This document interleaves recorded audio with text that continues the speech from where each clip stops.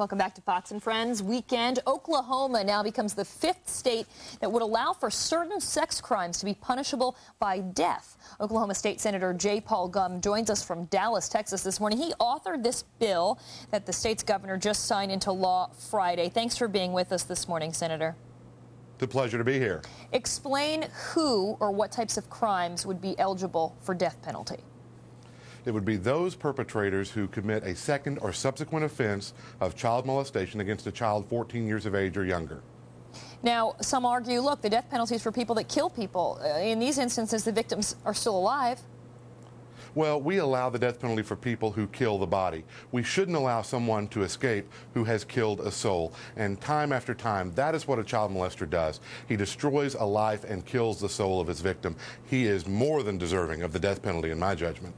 In this situation, uh, you you have it at, at, age 14. There are other states, I believe South Carolina has it as, as low as 11. Um, would it be a case, though, where even if this was given, uh, this punishment was given, it would just be argued back and forth in appeals for years, and you'd see these guys still, uh, what, just rot in jail? Well, and that's a good place for them. If we're not going to be able to remove them permanently from society, having them rot in jail is a, is a good place for them. Also, this bill provides for life without parole uh, as well. So if the death penalty was ever ruled unconstitutional, and I believe it will stand constitutional muster, they're still going to be removed from society forever on a second or subsequent offense. Right. You know, and the thing, it is so troublesome because we, we, we know that there is such trouble preventing these crimes from happening again. Meaning, uh, we have these Megan's laws, we have uh, state by state, they really vary on what they're trying to do in terms of keeping sex offenders away from children. Just doesn't seem to work. Why not?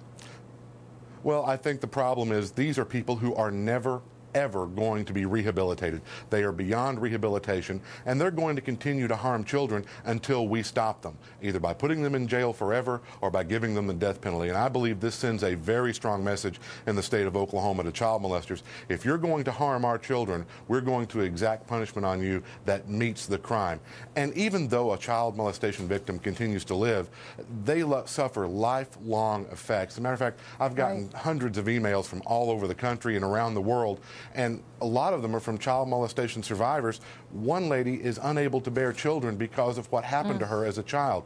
How many lives were ended or will never see life on earth because of the actions of this one child molester? Good it point. does destroy lives and is more than deserving of the death penalty. All right, Oklahoma State Senator Jay Paul Gumm, thanks for joining us. And we're going to talk a little bit now uh, about whether or not this would be upheld by the Supreme Court or would it be ruled uh, unconstitutional. We're going to ask criminal defense attorney and former prosecutor Paul Callan with us in studio. Uh, thanks for being with us. Nice to so be here. Oklahoma is the fifth state now to test this out. It's never actually happened yet, meaning no one's ever gotten the death penalty for something other than murder, correct? Well, people have gotten the death penalty for since, things other than murder, but it's probably been 40 or 50 years since such a sentence has been imposed in the United States. Since we brought it back, right, in yes, 1976. We, yeah, we brought it back 30 years ago, and there's been a very restrictive trend of allowing it only in cases of murder. You have to go back, by the way, in 1977, this is the last time the Supreme Court ruled on it, they said you could not impose the death penalty in a rape of an adult woman case. That's the closest thing on point that we've seen in recent years. And, and the face of the court has changed. So what would happen now, in your opinion, if it came back up? Well, I think we've seen we have a much more conservative court. The court is looking to uphold the death penalty.